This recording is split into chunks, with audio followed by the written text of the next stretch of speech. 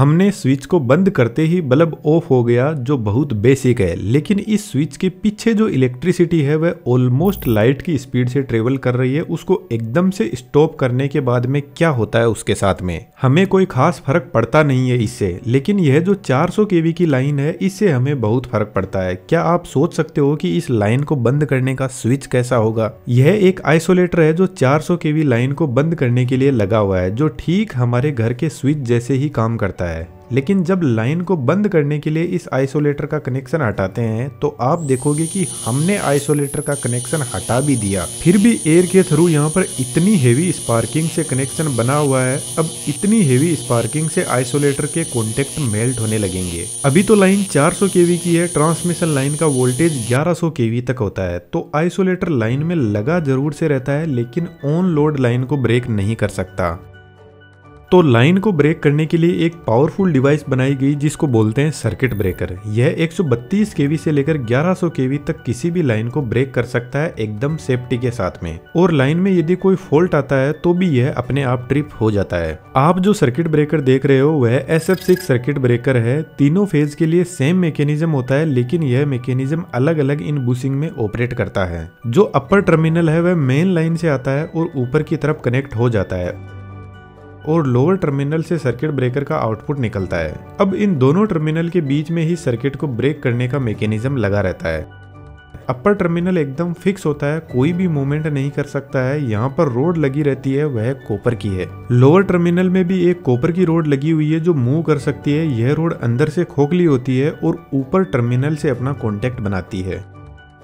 Lower contact खुद तो movement नहीं कर सकता, लेकिन इस कॉपर की रोड को मूव करवाने का मैकेनिज्म यहाँ पर होता है। यहाँ पर लगे मूविंग कॉन्टेक्ट बूसिंग के बाहर से ऑपरेट होते हैं, मानकर चलते हैं लाइन ऑन है और सर्किट ब्रेकर का कॉन्टेक्ट बना हुआ है। यहाँ पर दो कंडीशन है, यदि लाइन में कोई फॉल्ट आ गया या फिर सर्किट ब्रेकर को हम मेनुअली बंद करते हैं तो दोनों ही कंडीशन में सेम ही प्रोसेस से लाइन ब्रेक होती है। इस मैकेनिज्म के अंदर दो स्प्रिंग लगी रहती है और फ़िलहाल दोनों की दोनों स्प्रिंग लोडेड है। नीचे एक रिले लगी हुई है प्लंजर सिस्टम के साथ में। सर्किट ब्रेकर के पास में एक करंट ट्रांसफॉर्मर भी लगा रहता है तो जब भी लाइन में कोई फॉल्ट आता है तो करंट ट्रांसफॉर्मर से हाई करंट फ्लो करने लगेगा, और करंट ट्रांसफॉर्मर रिले को बताता है कि सर्किट ब्रेकर से ज़्यादा करंट फ्लो कर रहा है, ब्रेकर को ट्रिप करने की ज़रूरत है। एक छोटा सा क्वेश्चन दोस्तों आपके लिए, यहाँ पर current transformer extremely high current पर ऑपरेट करता है, और सर्किट ब्रेकर में लगी हुई रिले मुश्किल से 12 से 24 वोल्ट डीसी पर ऑपरेट करती है। फिर यह आपस में कैसे कम्युनिकेट करते हैं? इसका डायरेक्ट आंसर तो इस वीडियो में नहीं दिया हुआ है, लेकिन हिंट आपको आगे मिल जाएगा। दोस्तों स्किल के जमाने में थ्योरी से काम नहीं चलता है, और आप खुद इंटरनेट पर रिसर्च करना थ्री एनिमेशन का मार्केट कितना ज़बरदस्त एक्सप्लोड कर रहा है। हम भी धीरे धीरे एक थ्री कम्युनिटी बिल्ड कर रहे हैं, जहाँ पर बहुत सारे एनिमेटर सीख रहे हैं और अपने एक्सपीरियंस को शेयर कर रहे हैं। यदि आप भी सीखने में इंटरेस्टेड हो तो हमारी कम्युनिटी में आपका मोस्ट वेलकम है डिस्क्रिप्शन में डिटेल्स अवेलेबल है। Now back to the point तो सिटी का हाई करंट रिले से फ्लो करेगा तो रिले ऑपरेट होगी और इसमें लगे प्लंजर को बाहर की साइड में फोर्स लगाएगी, जिसकी वजह से यहाँ पे लगी होल्डिंग लेच लीवर को फ्री कर देगी और लीवर पर लोडेड स्प्रिंग का फोर्स आ रहा है तो बहुत हाई स्पीड में स्प्रिंग इस रोड को नीचे की तरफ़ पुल करेगी और लाइन बंद हो जाएगी। लेकिन इतना आसान नहीं है। इस हाई वोल्टेज लाइन ने आइसोलेटर को भी नहीं छोड़ा तो सर्किट ब्रेकर को इतनी आसानी से कैसे छोड़ देगी? जब स्प्रिंग नीचे आएगी तो बुशिंग के नीचे एक छोटा गियर बॉक्स लगा रहता है, जिससे तीनों बुशिंग एक दूसरे से कनेक्टेड रहती है ताकि स्प्रिंग का फोर्स तीनों बूसिंग पर इक्वली पहुँच सके। जब स्प्रिंग नीचे जाएगी तो इस रोड पर डायरेक्ट स्प्रिंग का फोर्स आता है, जिसको मूविंग आर्सिंग कॉन्टेक्ट बोलते हैं। यह रोड नीचे से इंसुलेटेड रहती है और ऊपर से अपर कॉन्टेक्ट से कनेक्शन बनाती है।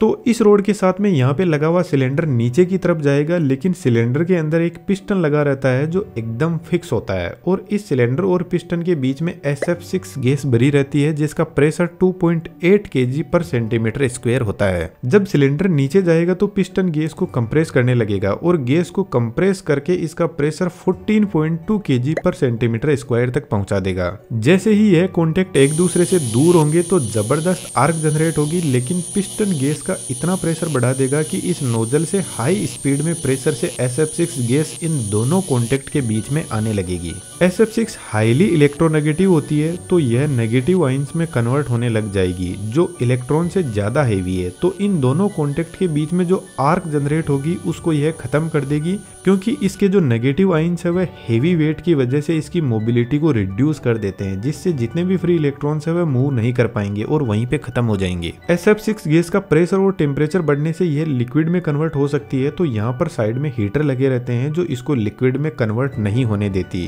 क्योंकि गैस लिक्विड में बदल गई तो फिर तो लाइन ब्रेक होगी ही नहीं। फ़िलहाल सर्किट ब्रेकर को तो बंद कर दिया, लेकिन एक रिस्क यहाँ पर अभी भी बनी हुई है कि इन सर्किट ब्रेकर के कॉन्टेक्ट के बीच में दूरी बहुत कम है। इसलिए सर्किट ब्रेकर के बाद में आइसोलेटर लगा रहता है तो जब हम मैनुअली सर्किट ब्रेकर को बंद करते हैं किसी लाइन पर काम करने के लिए तो सर्किट ब्रेकर को बंद करने के बाद में आइसोलेटर को ज़रूर से ओपन किया जाता है डबल सेफ्टी के लिए। क्योंकि जब इतनी पावरफुल लाइन सडनली ब्रेक होती है तो सर्किट ब्रेकर के कॉन्टेक्ट पर बहुत ज़्यादा स्ट्रेस पड़ता है। क्योंकि अब तक जो करंट हाई स्पीड में फ्लो कर रहा था, उसको कोई पाथ नहीं मिलेगा जाने के लिए तो सर्किट ब्रेकर के कॉन्टेक्ट से करंट वापस पीछे की तरफ़ रिफ्लेक्ट होने लगेगा। जिस तरीके से हाई स्पीड में फ्लो होते हुए पानी को हम एकदम से रोक देते हैं तो उसमें पीछे की तरफ़ वेव्स बनने लगेंगी। ठीक ऐसा ही करंट के साथ में होता है और यह करंट इतना पावरफुल होता है कि जनरेटर जो इलेक्ट्रिसिटी जनरेट कर रहा है, उसको भी अनस्टेबल कर सकता है या फिर किसी ट्रांसफॉर्मर को डेमेज भी कर सकता है। बहुत सारे डिवाइसेस लगाए जाते हैं पीछे की डिवाइसेस को सेफ़ रखने के लिए।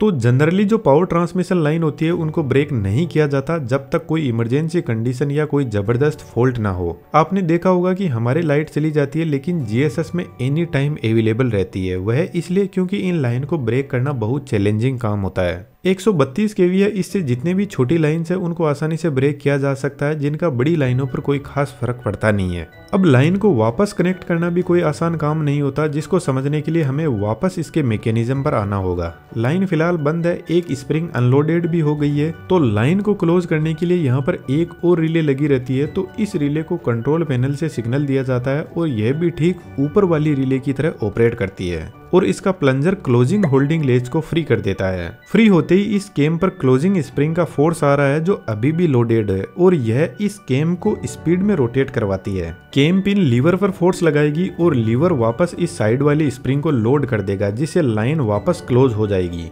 जो स्प्रिंग लाइन को ट्रिप करती है, उसको सिर्फ़ क्लोजिंग स्प्रिंग ही चार्ज कर सकती है, और क्लोजिंग स्प्रिंग को वापस चार्ज करने के लिए साइड में एक मोटर लगी रहती है। तो सर्किट ब्रेकर के क्लोज होते ही यह स्प्रिंग को वापस धीरे धीरे लोड करने लग जाएगी। इन सर्किट ब्रेकर का ओपनिंग और क्लोजिंग टाइम सिर्फ़ 40 टू 60 मिली सेकेंड का होता है और यदि लाइन ब्रेक होते टाइम आप सर्किट ब्रेकर के पास में खड़े रहते हो तो गैस और इसके ऑपरेशन की आवाज़ आसानी से सुनाई दे जाएगी। सर्किट ब्रेकर में जो एस गैस होती है, वह इन बूसिंग के अंदर ही बंद रहती है, क्योंकि यह हार्मफुल भी है और एनवायरमेंट को नुकसान भी पहुंचाती है। यहाँ पर लगा मीटर इसका प्रेशर बताता रहता है तो प्रेशर डाउन होते ही गैस की रीफिलिंग की जाती है। जब एक्स्ट्रा हाई वोल्टेज लाइन को वापस कनेक्ट करते हैं तो ये ट्रांसफॉर्मर के लिए खतरनाक हो सकती है। तो इसका भी हमें खासकर ध्यान रखना होता है, जिसकी बातें हमने इस ट्रांसफॉर्मर वाले वीडियो में की है। अभी तो हमने सिर्फ़ सर्किट ब्रेकर और ट्रांसफॉर्मर के बारे में बात की है। इलेक्ट्रिसिटी की वजह से हम हमारे घरों में बहुत अच्छे से एंजॉय करते हैं, लेकिन इसके पीछे जो इंजीनियरिंग है, वह बहुत ही चैलेंजिंग टास्क है। हम आने वाले वीडियो में और एक्सप्लोर करते जाएँगे तो इस सीरीज़ में हमसे जुड़े रहने के लिए चैनल को आप सब्सक्राइब ज़रूर से कर लीजिएगा। हम आपको कुछ बेस्ट लर्निंग देने की कोशिश कर रहे हैं, ठीक ऐसा ही थ्री एनिमेशन है। तो आप हमारे साथ आ सकते हो डिटेल्स डिस्क्रिप्शन में अवेलेबल है। Thank you